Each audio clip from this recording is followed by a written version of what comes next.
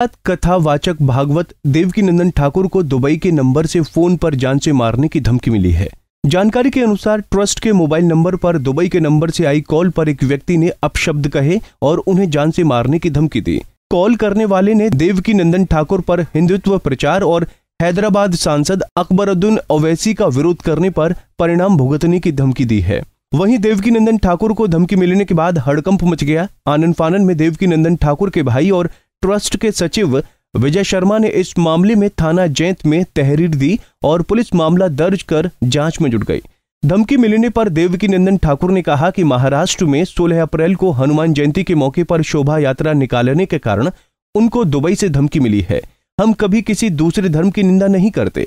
अंत तक हिंदुत्व और सनातन धर्म का प्रचार करते रहेंगे, चाहे इसके लिए कोई भी कुर्बानी क्यों न देनी पड़े। हनुमान प्राकट्य महोत्सव पर 16 तारीख को हमने वासिम डिस्ट्रिक्ट महाराष्ट्र में शोभा यात्रा निकाली थी, जिसके बाद 18 तारीख को दिन के दिन के 12 बजे कॉल आया और उन्होंने अनाप शनाप गालियाँ दी, उल्टा सीधा बोला हमारे कार्यालय में। और उन्होंने कहा कि धर्म वर्म की बातें करते हो, संस्कृति की बातें करते हो, तुमको देख लिया जाएगा, मारने की धमकी इत्यादि इत्यादि दी उन्होंने।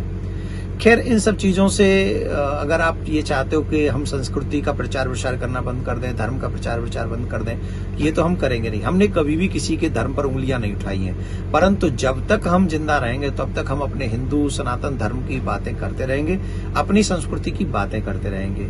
चाहे इसके लिए हमें कोई भी कुर्बानी क्यों न देनी पड़े। अगर हम इन सब चीज़ों से डर जाएँ, इससे पूर्व में भी हमें कई बार कहा टुकड़े टुकड़े कर दिए जाएँगे, तुम्हें जान से मार दिया जाएगा, ये कर दिया जाएगा। तो हम तो आए ही ठाकुर जी के प्रचार के लिए हैं। हमें जो भी झेलना पड़ेगा हम झेलेंगे।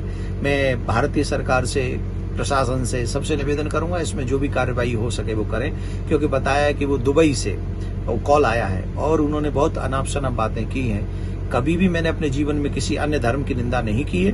परंतु मैं अपने धर्म का प्रचार प्रसार करूँगा, मैं भारत में रहता हूँ, भारत में रहता हूँ, मैं सनातनी हूँ सनातनी हूँ, चाहे इसके लिए मुझे जो कीमत चुकानी पड़े मैं चुकाऊँगा, लेकिन मैं डरूँगा नहीं, मैं पीछे हटूँगा नहीं, मैं सनातन धर्म का प्रचार करता रहूँगा।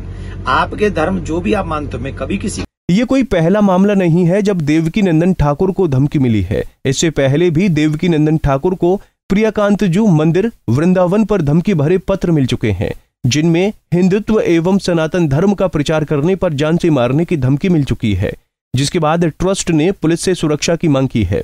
फ़िलहाल, पुलिस मामला दर्ज कर जाँच में जुट गई है। अब देखना यह होगा कि पुलिस इस मामले में आगे क्या कार्रवाई करती है। पंजाब केसरी टीवी के लिए मथुरा से मदन सारस्वत की रिपोर्ट।